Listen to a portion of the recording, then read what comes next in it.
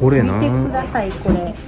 なんやと思います？ビヨンビヨンビヨンって。でビヨン。ボールペンなんですけども。これピッて外したらボールペン。え。でここにね磁石がついてて。カラほーンビヨンもするしふっとしたらくるくるする。くるくるもある。えー、面白いな。受付ったらかっこいいですねめっちゃねえ。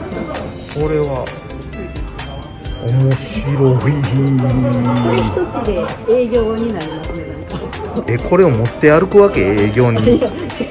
うんそれは無理やけどね。えー、面白いものがあるもんですね。